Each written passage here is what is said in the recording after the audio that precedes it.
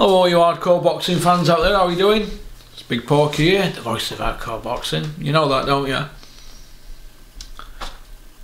I'm just going to come straight out with it. Eddie Hearn, you're a liar. What you making rubbish up for? There's no show in July.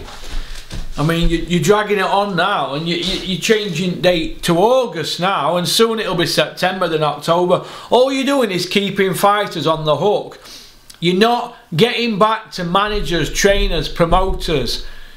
You're palming them off with lip service. There ain't no show in July, is there, Eddie?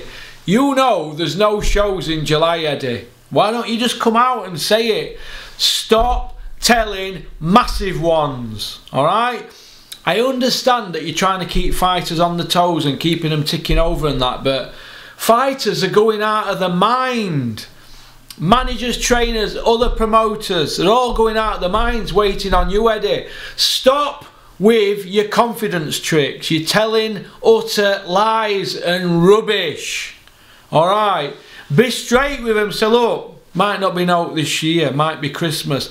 Be straight. Stop telling massive ones. Alright, Eddie? There's no boxing in July at your dad's address, officer's address in garden, party in the garden or Eddie's house party, whatever you're going to call it, garden party. Eddie, there's nothing happening in July, so stop it.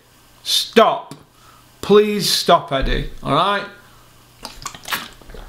You know where I am, Eddie? Pick up the phone. You've got no nuts, have you, to come on here? Oh, have I got questions for you, Eddie? I've had these waiting. In fact, it's at the back. It's at the back where I've had waiting for you, Eddie. Been here over a year since I've put my first billboard up. So, Eddie, stop telling porkies and come and meet Porky. We'll get you in here, Eddie, in this office. Alright? So, peace out. Keep on trucking, keep sporting boxing. Alright? Shout out to little Frank Smith at Matchroom.